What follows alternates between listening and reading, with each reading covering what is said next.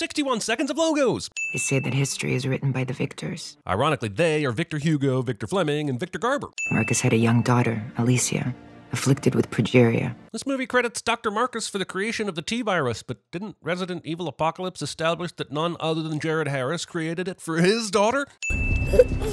This kid starts choking and the scene becomes a cut fest. I don't need three slightly different angles of the kid choking, nor do I need special cuts to people reacting. It's almost like they got this kid to do the scene and then said, Hey, do you want to edit the movie too? It wouldn't be a horror movie if someone wasn't reading Fangoria in some scene. This guy was somehow never taught one of the first rules of life. If you ever see an empty gondola arrive with blood smeared all over it, you run! Why are we still going with the every character in the movies just have black umbrellas on hand in case there's a funeral bullshit? There isn't one goddamn person who would buy a blue one just to be different, because I believe there is. And this black umbrella funeral collection is all the bullshit.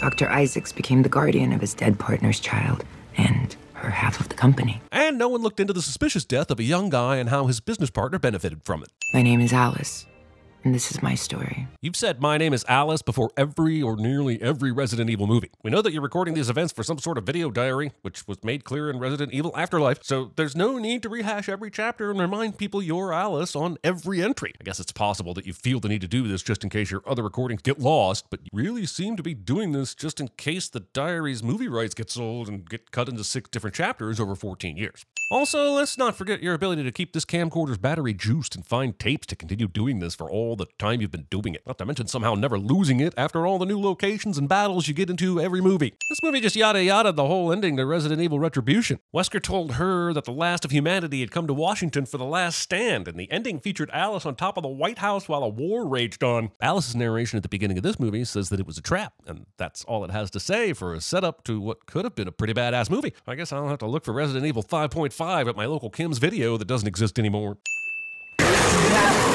Did the Raccoon City Lab give some of these creatures gills as well? Because how else could this asshole camp out underwater until someone came by to take a drink from the pond? Movie shows us a building that has some damage, but not nearly enough damage to explain how this giant dragon thing got in here, buried under mounds of rubble to jump scare Alice. And if there was such an opening, why isn't it using that to fly out instead of stupidly crashing out of the building like it's goddamn Black Adam? Also, where exactly did these flying creatures mutate from? When the crows were infected in Resident Evil Extinction, they just remained crows. So does this mean there were pterodactyls and dragons just chilling in parts of the world? This creature was literally hovering just above Alice a second ago, and now it's inexplicably so far away that it can't even attack before she gets the Hummer started. Movie expects us to believe there are clear roads after Washington, D.C. basically went through an apocalyptic battle that again we never got to see. Alice drives past this truck turned on its side here with plenty of space to fit through, but when she comes back, the truck somehow nearly stretches over the entire road so that she can use it to ram the creature later. Hummer suddenly ramps on a flat road with no ramps in sight. Also, she times this so that she'll ram the creature into the truck. And maybe she didn't have any other option than this, but this is goddamn stupid. Why would crashing into the creature and the truck behind it not cause her any harm? Everyone behold, we are about to see one of the greatest wonders the world has ever known. The Claymore Mine of Convenience! Also, yes, Alice places this Claymore front facing enemy, and most of the damage from it will fire around 700 marble sized projectiles at a 60 degree blast radius in that direction. But you can't just be this close to a Claymore exploding and expect to either survive it or not get extremely hurt by it. Believe it or not, Alice will now chase this whirring sound for two agonizing minutes. Is there suspense? You don't know! Hello. Why does Alice assume this noise comes from a human? And why is she not trying to be as quiet as possible when monsters are everywhere? Why did the Red Queen stop using the printer for that long stretch of time where Alice was looking for it so that she could pad the runtime? Plus, what was her plan to lead her down here if there wasn't a printer from the late 1600s available? Alice, 10 years ago in the hive, we both failed. How the f is any of this Alice's fault? She was a pawn in a bigger scheme, and she's been fighting to save the world for the last five movies. But sure, Red Queen, let's try and throw her under the bus with you, f***ing Red Queen. This doesn't cut off Alice's head or really injure her in any way. When I see a truck parked long ways across the highway like this, I wonder how Alice hasn't encountered any of these until now. Hell, the movie didn't even need to have her drive over spikes to stop her. This giant truck would have done the same why? Why would anyone be hiding in a bustable thingamabob in the hot ass desert? And why didn't they set up the spikes here under the bridge? Pinalis. Is that all you got? This taunt somehow makes everyone lose their minds, and Alice ends up killing everyone without getting the least bit hurt. Alice has proven her badassery, but it's easy to be a badass when everyone else is just bad. Also, even by Resident Evil standards, this action sequence is really It's like Paul, not the director of Boogie Nights Anderson, took every bad part of MCU action sequences and then asked Kevin Feige to hold his Red Bull. This franchise has shown Alice to be a very intelligent and resourceful character, until it needs her to be the stupidest person on the planet. The Alice from the last five films would never fall for this blatant motorcycle trap, so why did she in this one? So you're awake at last. I killed you. Yet here I am. A clone. And now we find out Isaacs is still alive, and the Isaacs that Alice killed in a previous entry was a clone. And I'm more certain in every outing that these movies should be titled Retconned and Evil. I really would like to know why every bad guy in this franchise seems to have a bunch of dead Alice clones on hand. What purpose could they possibly serve, other than to freak out the original Alice with when she inevitably shows up? I want to know what you know. Then maybe you shouldn't have put her in a situation where hundreds, if not thousands, of zombies could easily catch up with her and kill her. It would appear your mission to Washington was less successful than you made out. Impossible. I don't know whether it is or isn't impossible, but it's weird to me if that whole thing in Washington was to set Alice up for her to die, then why didn't he just kill her, since she didn't have her powers anymore? I understand making her believe she had powers and sending her into a T-virus war zone was supposed to kill her, but why leave any of that to chance? I think she knows about the airborne antivirus. Raise the security level at the hive to maximum. Sure, that works, but you can also do another small thing. Just kill her! Get up there and check it out. Why does anyone need to get up there and check it out? Do you not have radios? And didn't you have a camera on Alice while she was running behind the tank? And if you know about her abilities, why send Scrubby McScrubberson all by himself? These zombies that have somehow made it to the side of the tank makes me feel like the movie was lying to me when it said they couldn't catch up to Alice when she was behind the tank. This guy was, for all we know, a greedy ass doctor who turned into a cult leader. How the f is he hanging with Alice right now? No one else can, but because he's a legacy character, he can for reasons. When they set up the shots for these movies, what exactly is the process here? Did Paul W.S. Anderson say, I want every angle I can get, and when I go to the editing room, I want to use all of them? The storyboards for these things must be a series of frames depicting hand cramps and vodka. This guy has an absolutely open shot at Alice with a variety of weapons and misses like an absolute anus. Holy sh! This tank has a targeting system, and the guy thought he was Luke f***ing Skywalker or some sh.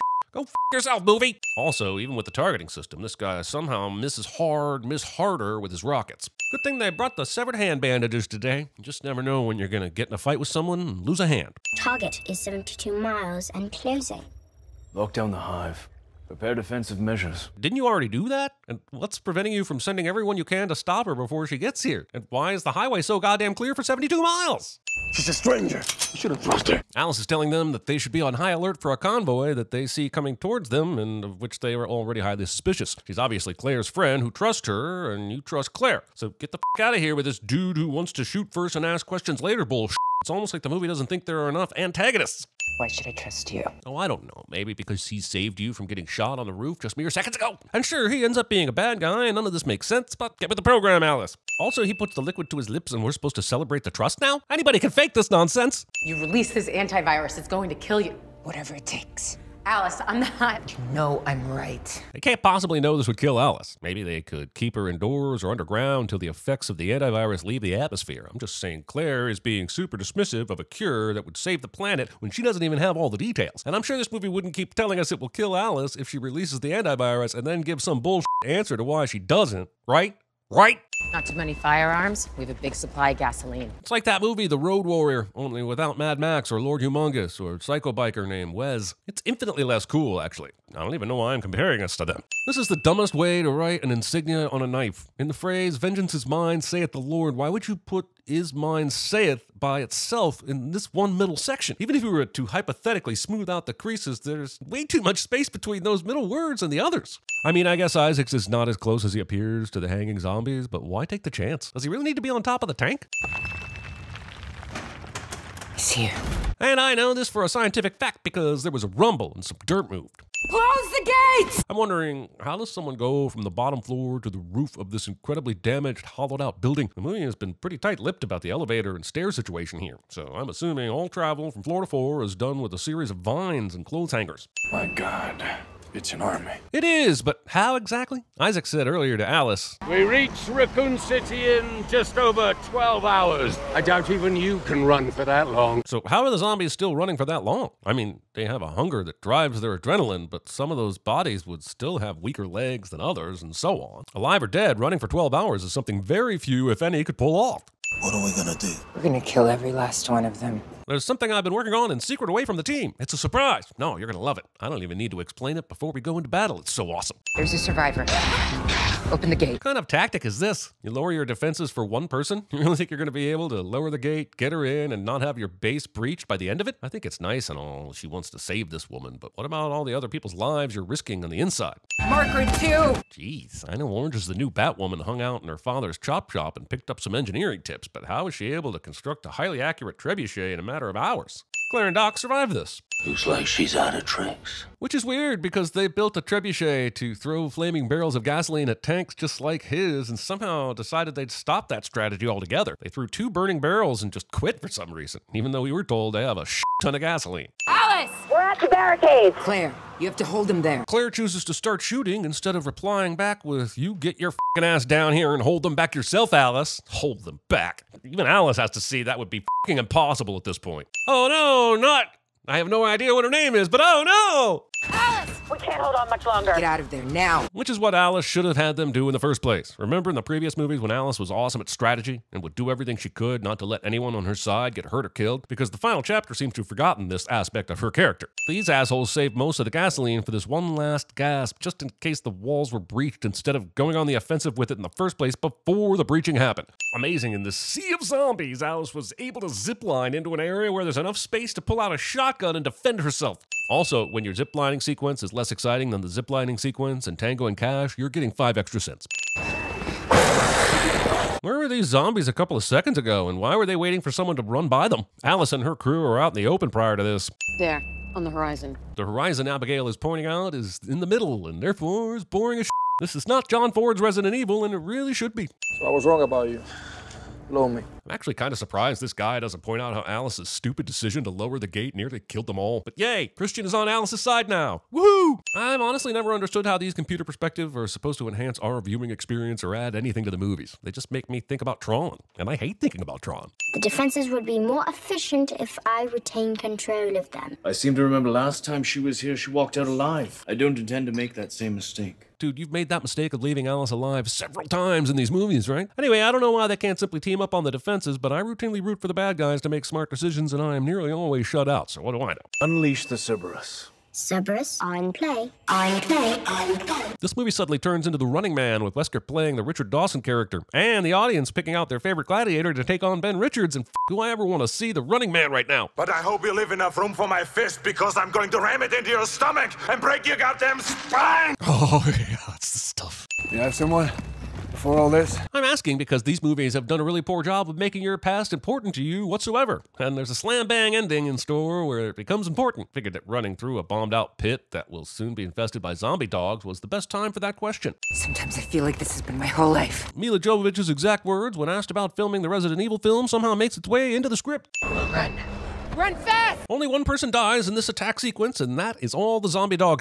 Hundreds of these demon dogs surround all the humans, and somehow Alice and crew still end up with a clear path to jump off the cliff into the water. And apparently, these things can only run at human speed. Seal the hive.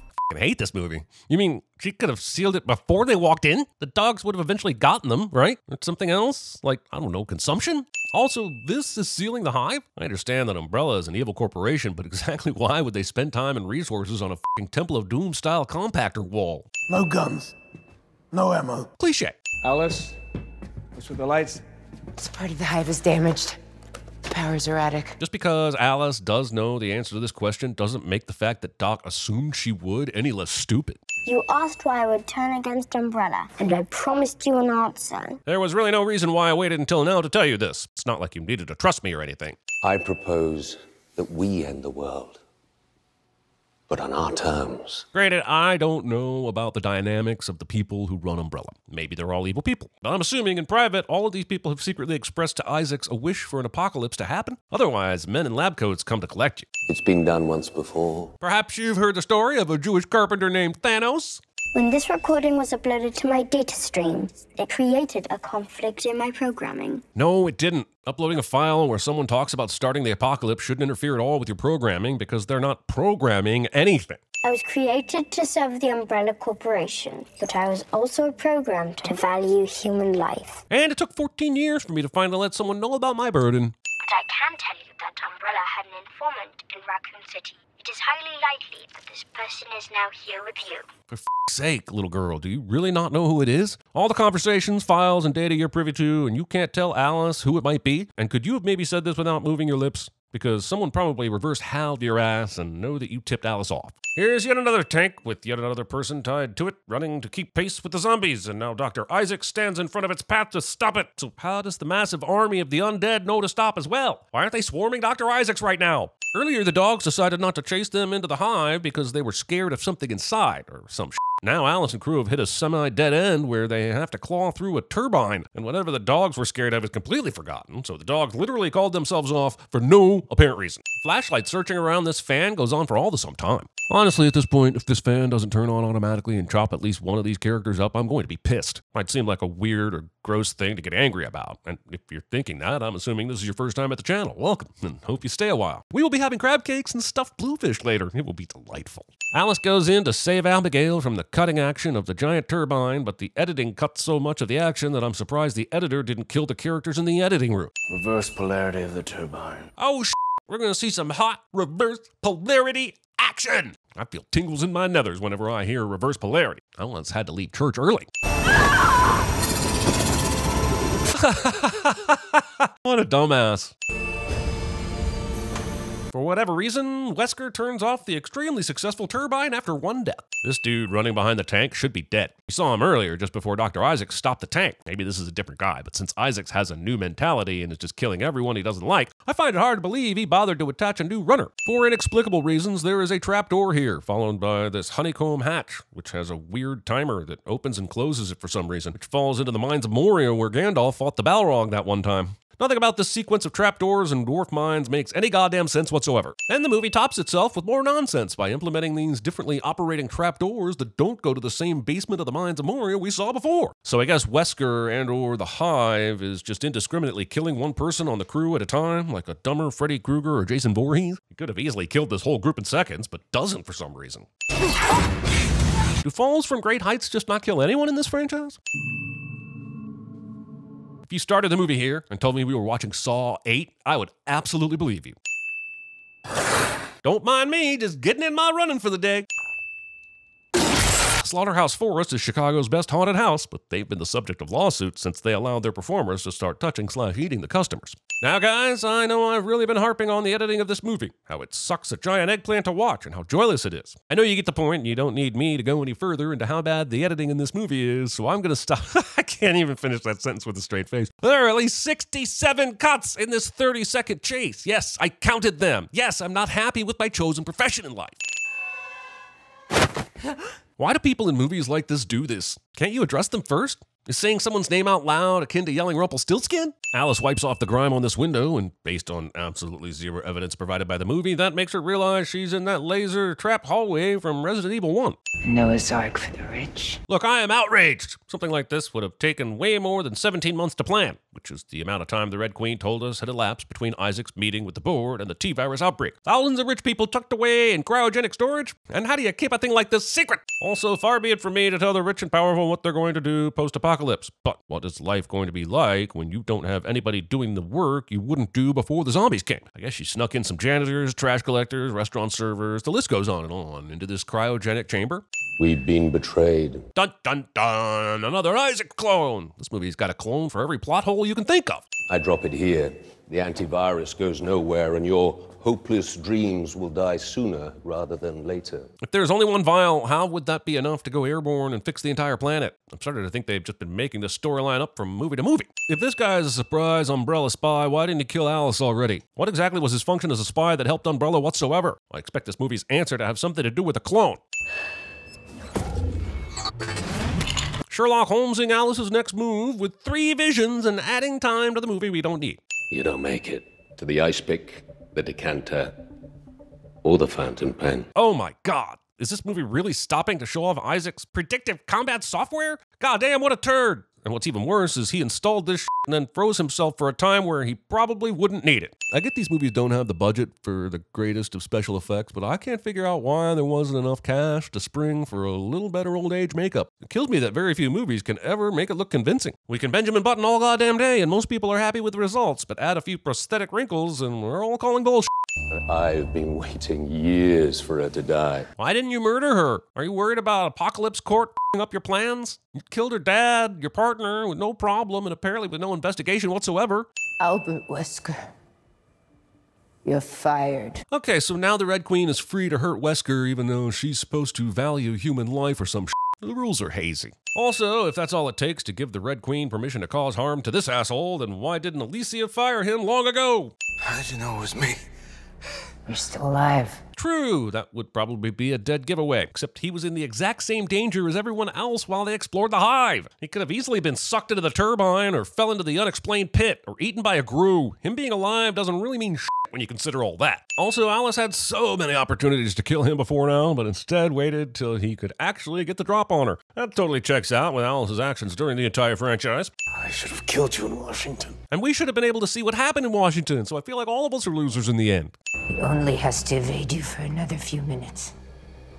And the last remaining human outposts will fall. Are you guys ever going to explain what's specifically going to happen to humans at the end of this ticking clock? Having watched to the end, I don't think they ever explain what happens when the clock hits zero. Earlier in the movie, the Red Queen said there were a little over 4,000 people left on the planet, and they'd just die after 48 hours, no explanation given. If Umbrella has a bomb or something that'll wipe out the remaining human outposts, why didn't they do that sooner? You're all going to die down here. Introducing AFI's 8,782nd best line of all time. Glad they got a call back in. I wasn't running. I already can hear the questions regarding the earlier sin about how the Isaacs clone was too good at combat, but we've been shown the real Isaacs had technological upgrades, and there was no mention of the clones having the same upgrades in their system. Also, I don't give a shit, and therefore my previous sin counts. Skip! This is the final fight of the entire franchise, and it's a punchy, punchy, kicky, kicky affair between two people with the exact same powers. It's Man of Steel with Milla Jovovich. Oh, shit, that actually sounds kind of awesome. Alice nearly dies because her head is slightly sticking out over the elevator floor, which suggests poor planning and design on Umbrella's part, or the unskilled people they hired and killed to do their elevators. None of these movies have ever even explained why this hallway exists. Why does it exist? Why? And why does it start out with the straight line lasers if it can do the take up the whole hallway pattern? This hallway is so goddamn stupid. Alice stabs Isaacs, and now I'm wondering where his predictive combat Miss Cleo went. We played a long game, you and I. Well, some of the series took elements from the game. The movies and the games are pretty separate at this point. I'm I'm not even sure this line is making a cheeky reference to the games or not, but f it, this line is annoying enough for a sin. I'd remove every sin from this franchise if she dropped the antivirus right now. These f- people come back so many times. I'm giving Alice a sin for not finding something to chop Isaac's head off before she took off. This is your fault, Alice. Send in the clones.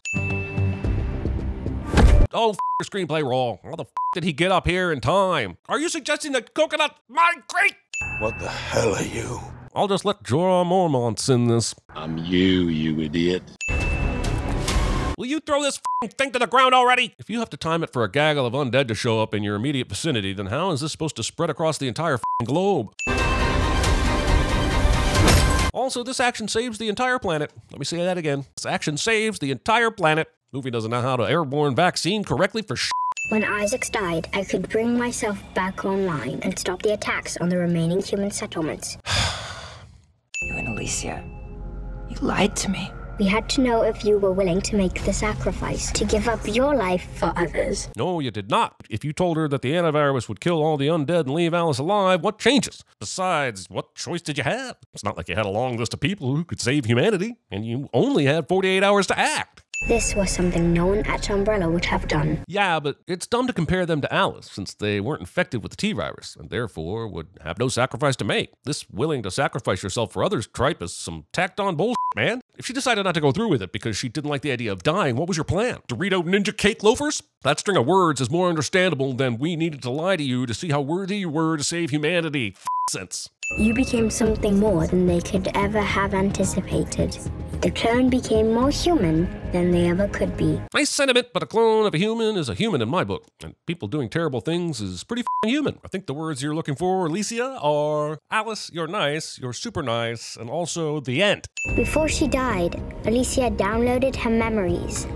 For you. I f***ing hate it when people insist on showing me their home movies. These memories are not Alice's. They are as meaningless as downloading Muffy Mouse's memories from today's special into her. Also, when they decided to come out into the desert hills for one last exposition dump, I'm wondering why they picked a place where Claire has to sit awkwardly on this rock all the way through it. That's gotta be murder on her back. When the T virus spread across the Earth, Ending your movie and franchise with narration. it could take years for it to reach every corner of the Earth. Okay, so why didn't Umbrella make more of this antivirus? If the whole idea was to wipe out the T virus so they could resurface, then why did they make an antivirus that could take years to cover the planet? Until then, my work is not done. So the final chapter was kind of a lie, huh? Even if they don't make another movie with Milla, she continued killing zombies and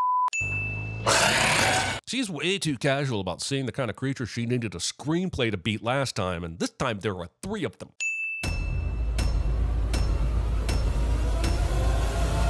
Pictures they make these days are all MTV. Cut, cut, cut, cut.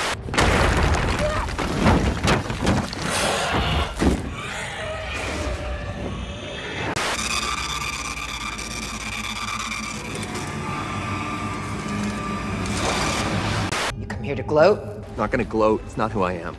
I want you to stop me. I came here for you to beat me. Hydra was founded on the belief that humanity could not be trusted with its own freedom. What we did not realize was that if you try to take that freedom, they resist. What are we gonna do? Win the whole fucking thing. What are we gonna do? Let's show this prehistoric bitch how we do things downtown. Cool guys don't look at explosions. There's something here you gotta see. A megalodon. I seem to remember last time she was here, she walked out alive. I don't intend to make that same mistake. You blow me. Fuck it up ourselves. No guns. No ammo. What the hell are we supposed to use, man? Harsh language? What is this thing? I mean, it serves no useful purpose for there to be a bunch of choppy, crushy things in the middle of a hallway. Don't worry. I'm not gonna kill you. I cannot kill my friend. Kill my friend. And you have one more step to make. Call